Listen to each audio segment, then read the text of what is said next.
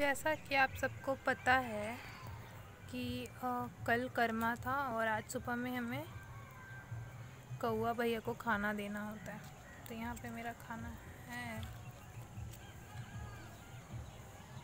इसमें चावल दाल सब्ज़ी दही और साग पानी। मगर अफसोस की बात है कि सारा जो पक्षी है, वो मेरे यहाँ इस सबसे ऊपर वाले छत पे है। सबसे ऊपर वाले छत पे हम जा नहीं सकते क्योंकि सीढ़ी टूटा हुआ है। और हम इन लोगों को इतना पास खाना दिए कि नीचे देख लो भाई। नीचे देख लो। थोड़ा सा नीचे देख के खाना खा लो। क्या क्या मस्त खाना है।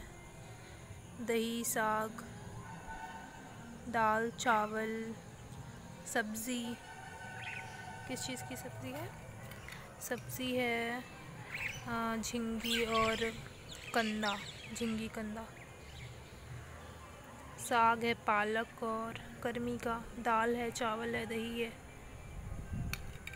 मगर इन लोगों को सब जगह रहना है, सिवाय मेरा खाना नहीं खाना है। चारों तरफ़ इतना पक्षी है, लेकिन मेरे खाने पे किसी का नज़र ही नहीं जा रहा है। इधर भी हम रखें, इधर देखो देखो भाई, उड़ रहा है उधर भी। एक बार देख ले इधर, उधर अगल बगल। अरे अरे अरे अरे, मिला।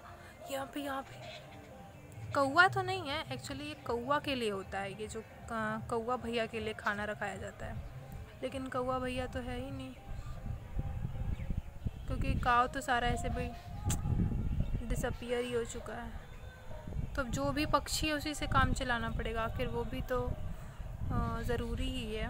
मगर कर्मा में नियम के अकॉर्डिंग कौआ को ये खिलाया जाता है। कौआ को भैया मान करके, भाई मान करके, उसको हम खिलाते हैं, सुबह सुबह। कोई ना, यहाँ पे उसका खाना रखा हुआ है। बट अफसोस, सोच रहे उसको कॉर्नर में शिफ्ट कर देते हैं तो खा पाए। वहाँ पे उस छत पे भी काफ़ी पक्षी है। लेकिन मतलब इन लोगों को को कोई मेहनत ही नहीं करना है।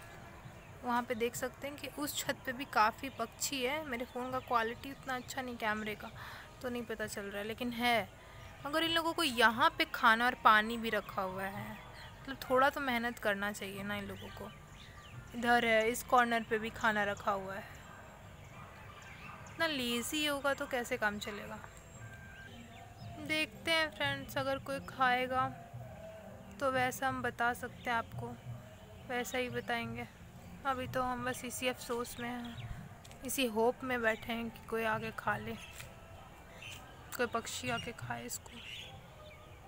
तब तक के लिए बाय